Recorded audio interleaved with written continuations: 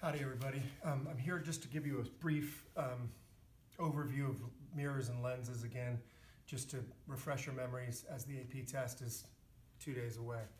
Um, I want to remind you that for mirrors, we have concave and convex. And for a concave mirror, that's where this is the shiny side here. And all rays that are traveling parallel, parallel to this principal axis, we call it, all reflect through what's called the focus. And the focus is very approximately, well, to a very significant extent, it is approximately halfway between the center, the radius of curvature, and the shiny surface of the mirror. So again, a parallel ray reflects through the focus. Conversely, a ray that leaves an object and goes through the focus leaves the shiny surface traveling parallel to the principal axis. A convex mirror is one which the focus is on the non-shiny side of the mirror and we will do the ray diagrams but again this is the radius of curvature and that's half of that distance there. A real quick word. The College Board does not typically use terms like convex. They'll use diverging frequently.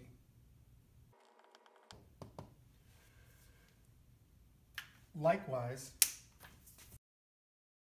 what I typically call a concave mirror, they will call a converging mirror.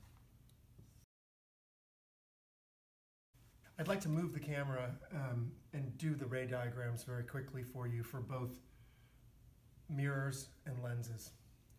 You'll also notice that um, I sent in an email the mirror blanks.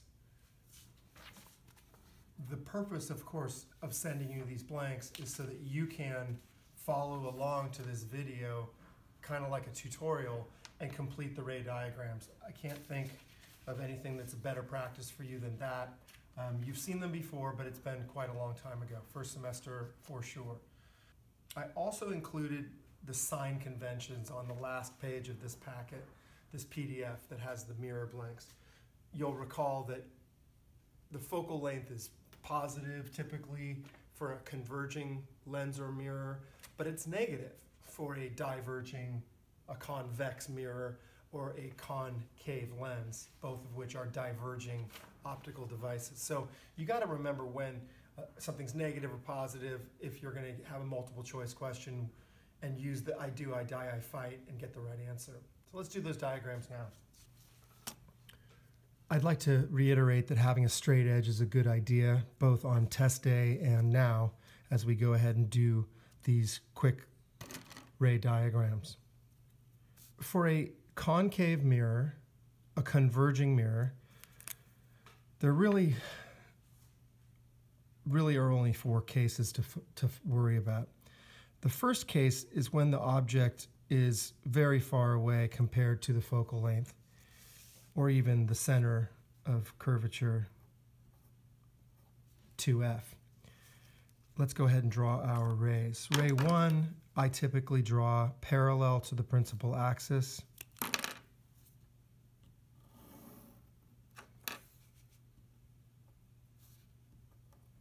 And such a ray will reflect through the focal point.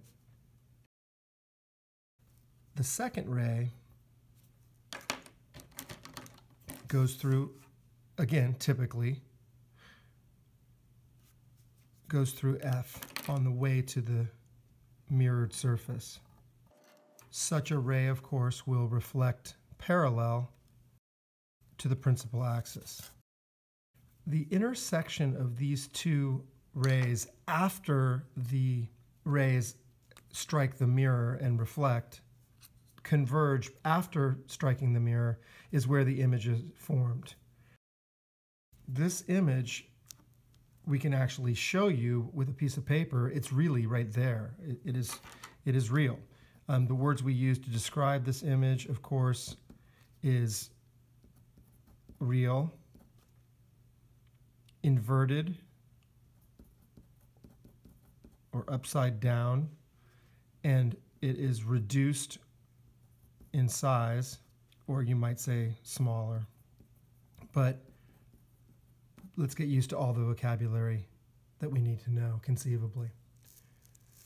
The next case, so to speak, is one I like to do when the uh, when the uh, object is at the center of curvature 2f. Again, ray 1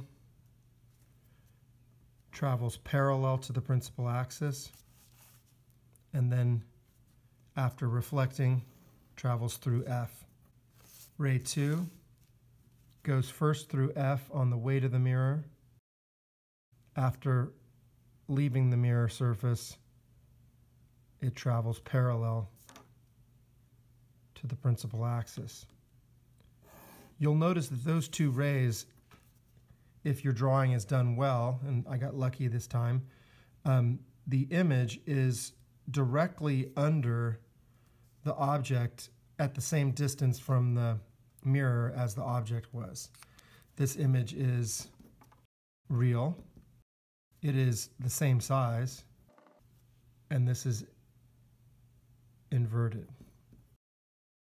At this point, we'll probably go pretty quickly. Let's jump to the case where the object is between F and 2F.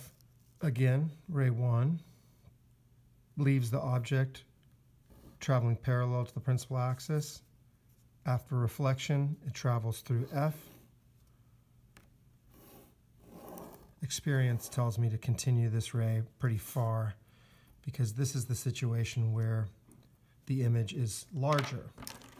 Ray 2 leaves the head of the object, the top of the object, goes through F, and then reflects back in real space, in a place where light actually can converge, and those two rays do converge on a point that is fairly far from the object. I should say very far from the mirror. This image is also real. Again, I don't want to reset this again, but you know that if the rays really do cross after leaving the mirror or lens, that produces a real image. It is clearly inverted and it is enlarged. The last case of the concave mirror, and probably the hardest one to draw, is when the object is in front of F. The first ray is not hard. It's the same as it always was. It goes parallel to the principal axis and then reflects through the focal point. But the second ray, we typically go from the head to the focus to the mirror, and that ray doesn't really exist in this situation. However, however, we can have a ray that comes off the head as if it had originated at F. Notice that I've lined up my ruler with F, the head, and the mirror. And I'm just going to draw that ray that leaves the head as if it had come through F. That ray will, of course, reflect parallel to the principal axis. Now, those two rays are divergent. They do not ever come together. But our brain makes sense of that light, that divergent light, and creates an image. An image is formed that is behind the mirror. And I'm going to trace each of these rays with the arrowheads on them backward.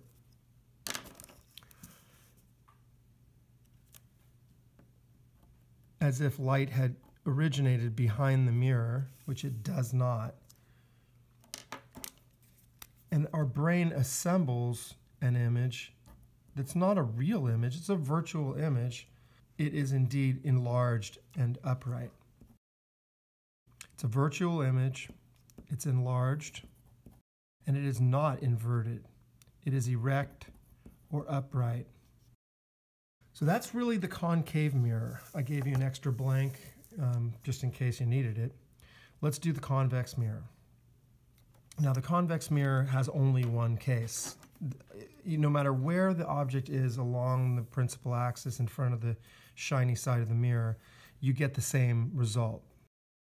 While there's a variation in the size of the object compared to the size of the image, it's always the same three words in terms of it being upright or, or, or, or inverted or enlarged or reduced. It's always the same three descriptors. So I'm just going to do one drawing. Ray 1, again, you probably are not surprised, is, is made to go parallel to the principal axis. And then when it reflects, it reflects away from F. So that ray goes away from the mirror as if it had originated at the focal point. The second ray, again, typically you go toward F, but you can't get toward F because it's behind the shiny side of the mirror. But that ray that heads toward F will reflect parallel to the principal axis. Again, these rays are divergent. There is no place in three-dimensional space where they ever come together again, at least in the geometry that we understand. So again, your brain assembles an image by thinking that light, hey, it always travels in straight lines, so it must have come from behind the mirror. This light travels in a straight line, so it must have come behind the mirror or originated back here. And where those rays cross, our brain assembles an image. And that image is upright, clearly. It is reduced always. And it is virtual. It is virtual because you cannot put a piece of paper, a screen, or a bed sheet or something behind the mirror and expect an image to show up in focus on that screen paper, bed sheet, whatever. We had to draw dotted lines and, and say that light came from somewhere we know it didn't. That's what leads to a virtual image. A word really quickly about the convex mirror. I've said this before in the class, you know this, but the convex mirror is the mirror that is on the passenger door side of a car.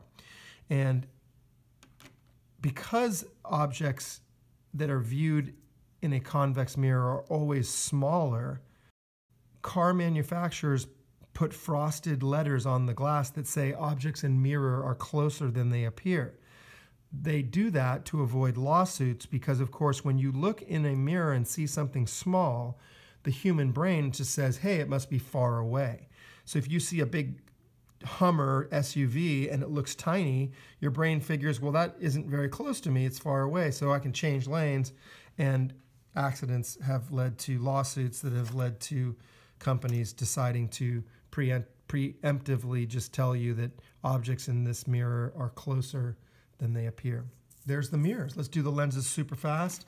It really will go super fast. You'll see a correlation between concave mirrors and convex lenses because both devices are converging devices optically speaking. Okay, so typically I like to go out here way beyond 2F and let's do our ray diagram. Now this is a glass lens, it's not a mirror. So light typically travels right through it.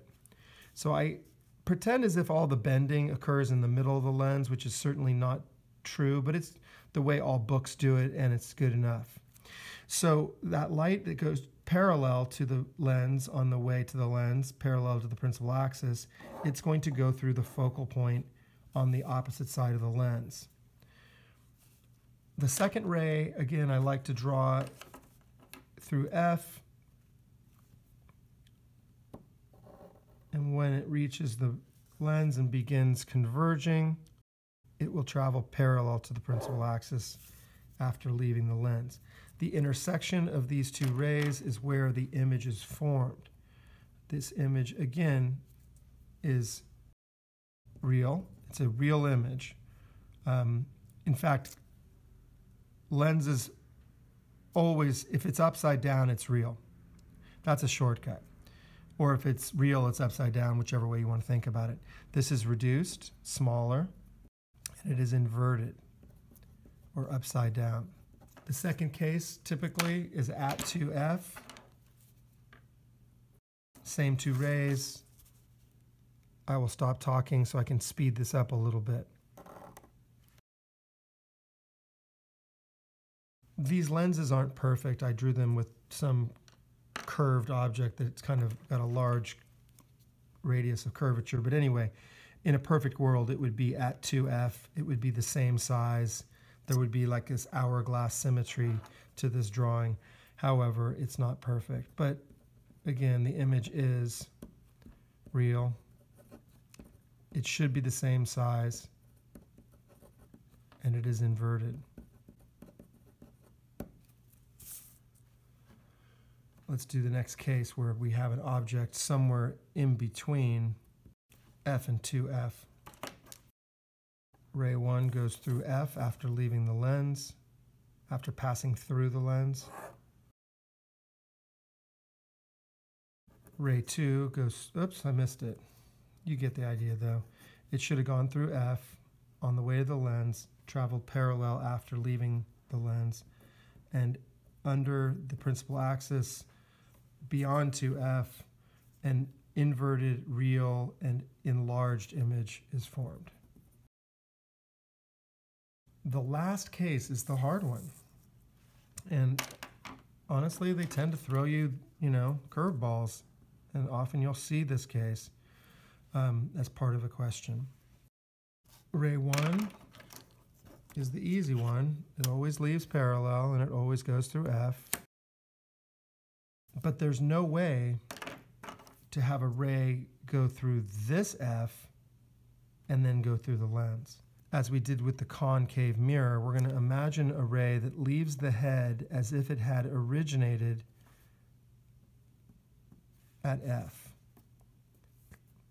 That ray, now it misses this lens entirely, but don't worry about that. Imagine if the lens were a bit taller and that ray will leave the lens traveling parallel to the principal axis. Again, these rays are divergent. They do not come together. So our brain makes sense of this situation by, again, assuming that light travels in straight lines and somewhere back in time, so to speak, these two rays were in the same place and that location, oh, this is right on top of it, but that is where the image is formed, believe it or not.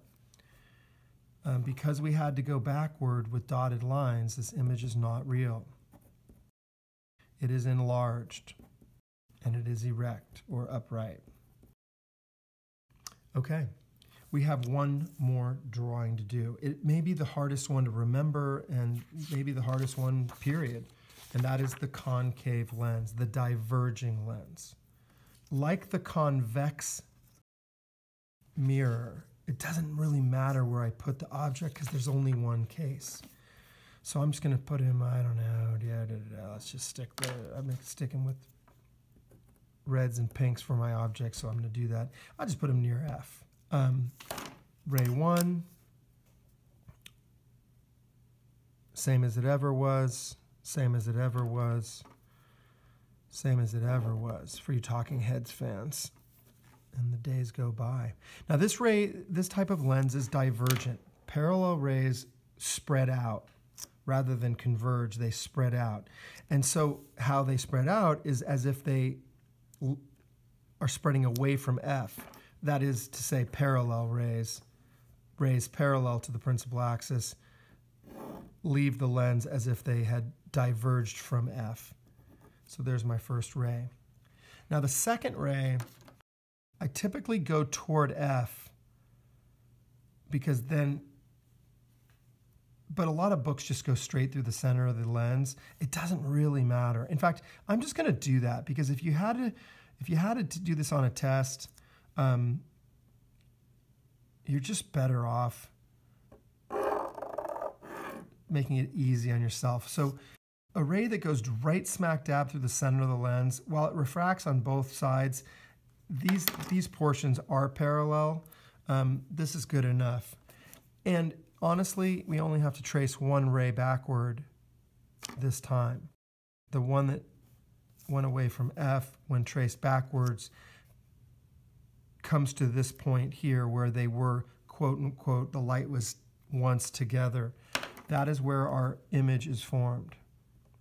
This image is not a real image. Um, whenever for a lens, the object and the image are on the same side of the lens, then it's a virtual image. But the image is reduced, smaller, it is upright or erect, and it is virtual. I, I will draw the, the other ray. I'll get my orange pen out here and do the one that I like I might have done in class. But imagine a ray that heads toward the lens as if it was going to go through F. That one will leave the lens traveling parallel to the principal axis.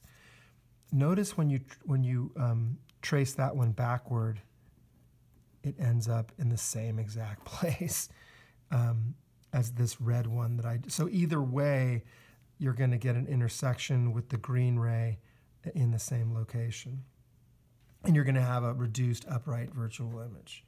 Uh, I think these two rays here are easiest to draw. You know, the last thing I'll just say one more time, and I've said this before, is with lenses, again, the College Board tends to use the term converging and diverging. And the way to look, let's draw the principal axis too. Um, but light that is incident on the lens comes, it, it converges on a focal point.